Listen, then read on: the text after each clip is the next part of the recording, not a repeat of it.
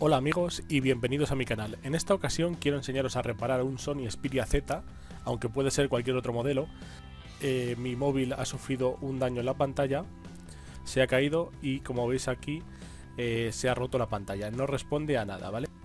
La primera idea que tuve fue la de cambiar la pantalla, pero luego, eh, consultando por internet, descubrí una página donde se vendían móviles estropeados.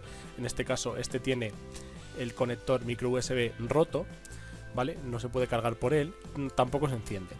Y tenía la opción de utilizar este móvil para reparar el mío.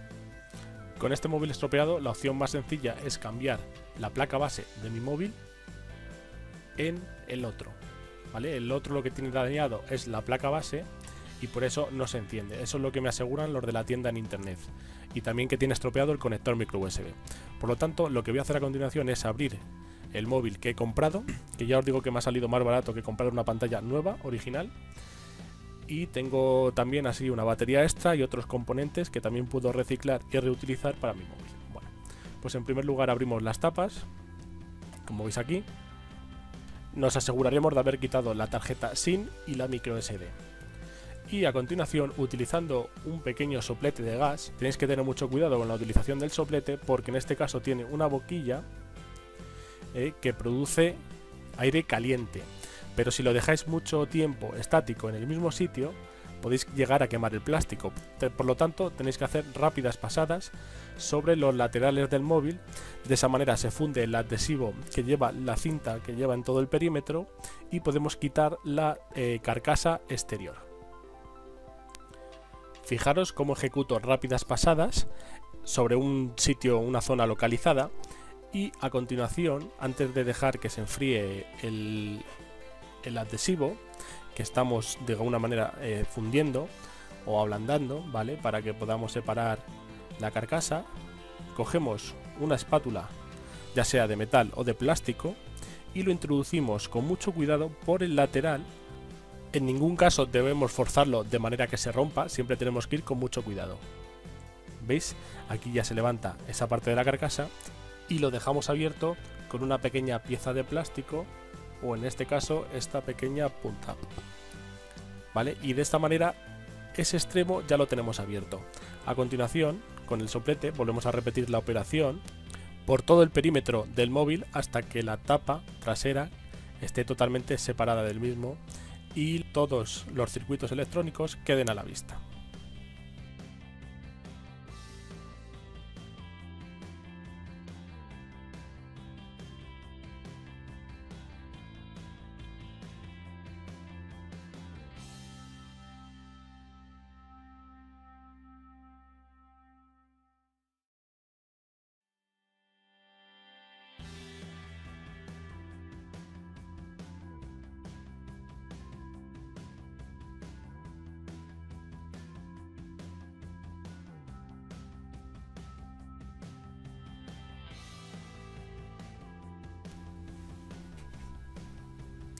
Bueno, ya por último, el tramo final, el que afecta a la cámara, lo vamos a hacer con más cuidado si cabe todavía, porque la cámara es una pieza muy delicada y que podemos arrastrar al deslizar la espátula metálica por debajo, ¿vale? Por lo tanto, con mucho cuidado y fijaros, ya lo tenemos abierto.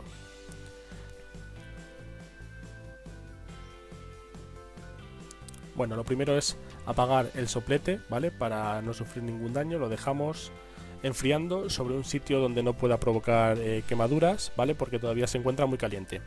Y ahora, si nos fijamos, hay una pequeña eh, cinta adhesiva recubriendo todo el perímetro del móvil, ¿vale? La tenemos que quitar totalmente. Como veis aquí hay cachos en diferentes sitios. Sale muy fácilmente y no deja ningún residuo.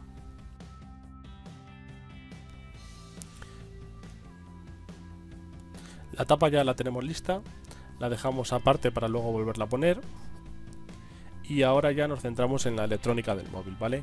Vamos a ir retirando los componentes eh, que afecten a la placa base y las conexiones principalmente para dejarla libre y poderla extraer e instalarla en el otro móvil. Lo primero que hay que hacer, eh, tenemos que liberar nuestro cuerpo de la electricidad estática.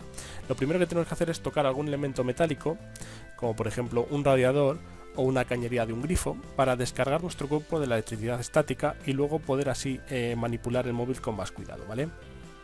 Bien, lo primero que vamos a hacer es quitar las partes de plástico, ¿vale? Son eh, pequeñas cubiertas que se pueden sacar muy cómodamente, siempre haciendo palanca, como veis aquí, con, con piezas de plástico, con mucho cuidado y de manera que no nos carguemos nada y tienen que salir solas. Es importante porque si forzamos cualquier pieza, por mínima que sea, podemos romperla. Pular piezas pequeñas es utilizar unas pinzas. Si tuviéramos unas pinzas eh, que fueran de plástico en lugar de metálicas, mejor.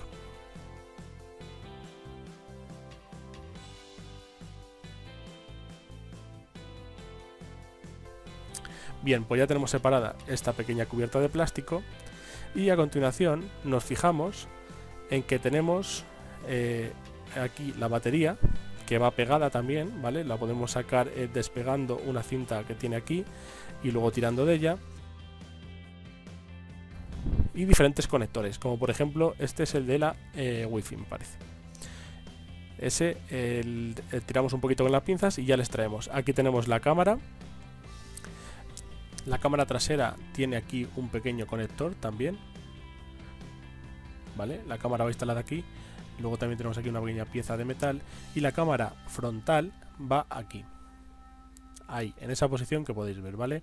Con un conector también eh, situado en la placa base. Luego tiene diferentes conexiones, como por ejemplo este trozo de plástico que asegura la conexión como veis aquí, y posiblemente sea un precinto de garantía, es decir, que una vez que lo hayamos extraído, la garantía de nuestro móvil queda anulada. Para extraer los conectores, como sigo diciendo, que lo vais a localizar muy fácilmente, hacemos palanca con estas pequeñas eh, piezas de plástico y sale muy fácilmente. También tenemos otro conector aquí, como os digo, haciendo palanca, nunca tirando de él directamente, sale muy fácilmente y este también está desconectado.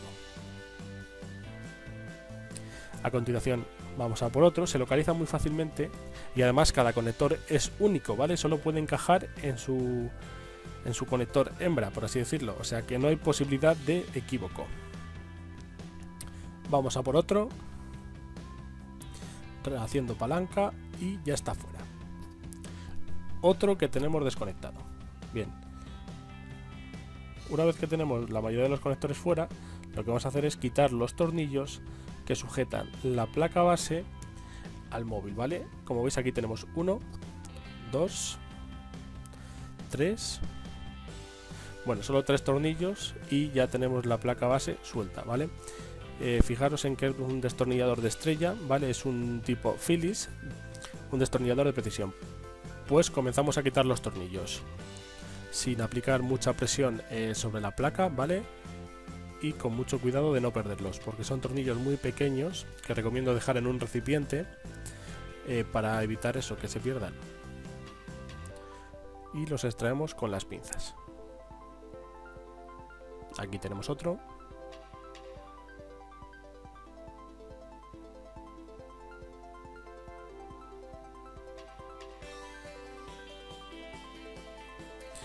Y vamos a por el último. También voy a quitar ya esta pequeña lámina metálica que actuaba de soporte del protector de plástico que retiré al principio. Y el último ya está fuera. Bien. Con esto más o menos la placa debería de estar suelta. Bien, vamos a imaginar que en vez de la placa base, que es cambiar eh, pues todo en el móvil, digamos, lo que queremos cambiar es la cámara trasera, ¿vale? Para ello quitamos esta pequeña pegatina de plástico que seguramente sea un precinto de garantía, es decir, que una vez que extraemos esa pegatina, por así decirlo, la garantía de nuestro móvil queda anulada, ¿vale? Tener esto siempre en cuenta. Bien, pues como os digo, quitamos esta pequeña pegatina de plástico que sujeta y afianza la conexión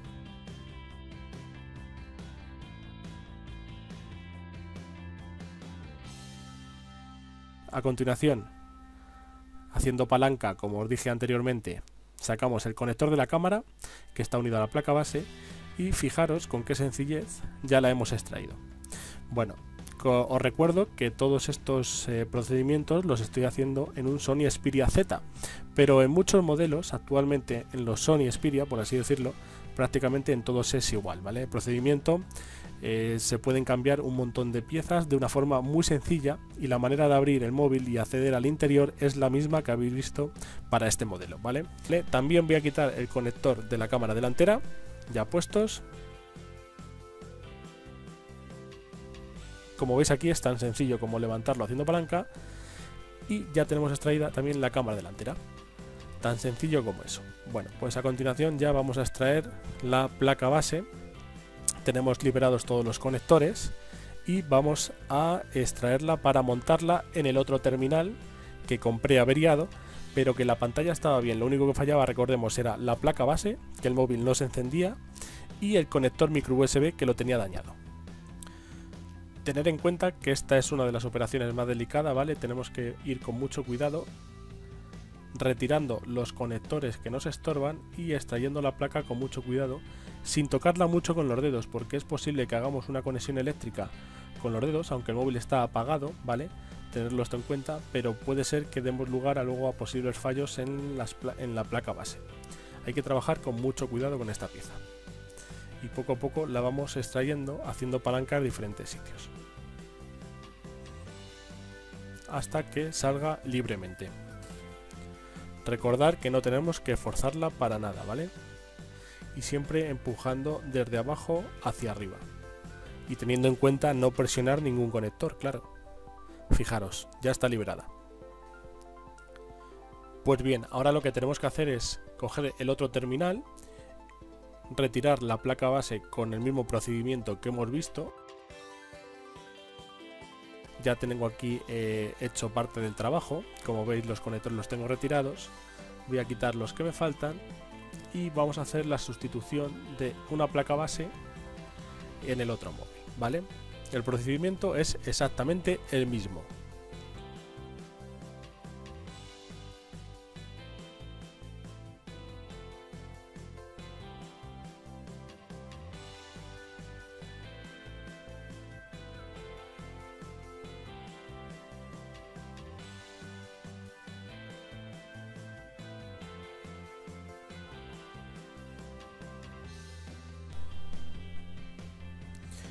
lo que nos queda por hacer es instalar la placa base de mi móvil en el otro terminal que compré, ¿vale? Es un procedimiento muy sencillo que simplemente conlleva en repetir los pasos anteriores pero en proceso inverso.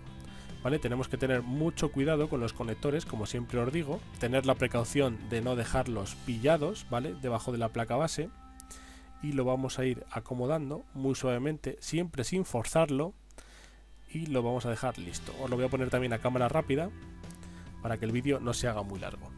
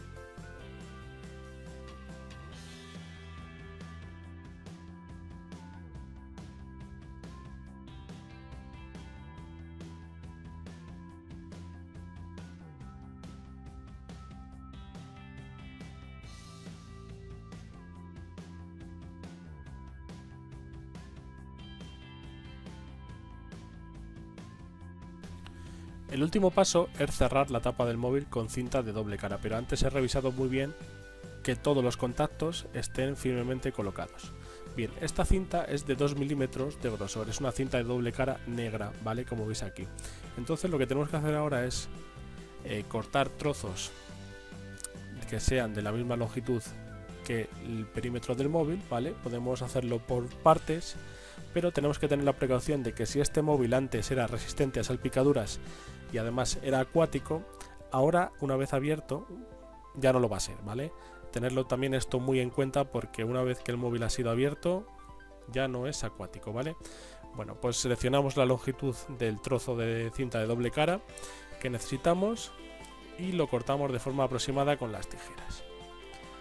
Así vamos a hacer con los cuatro extremos y vamos a ir poniéndolos muy suavemente, como vais a ver en el vídeo. Y ahora ya lo cortamos.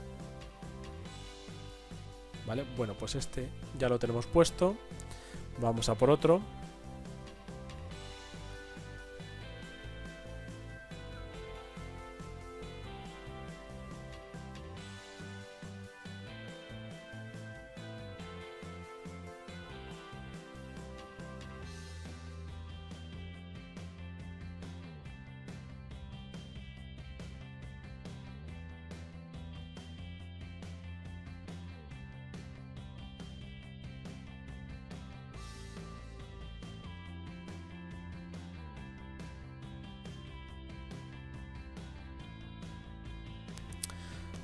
Para finalizar el trabajo lo que nos queda es quitar el papel de la cara adhesiva en los cuatro lados y una vez que lo tenemos quitado ponemos la tapa del móvil, la presionamos para que quede bien pegada con la cinta al terminal y ya tenemos el trabajo listo.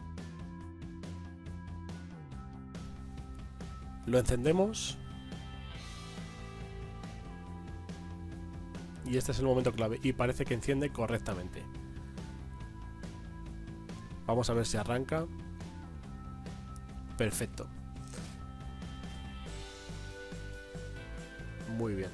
Pues ya tenemos el móvil completamente arreglado gracias a un terminal roto, estropeado que hemos comprado a un precio muy barato y es un trabajo que podéis realizar vosotros mismos en casa con cuatro herramientas básicas y de una forma muy sencilla. Bueno amigos, pues espero que os haya gustado. Nos vemos en el próximo vídeo. Y recuerda, si te ha gustado, dale al like, comenta, comparte y suscríbete. Todo esto me ayuda a saber qué vídeos te gustan para poder hacer más. Un saludo.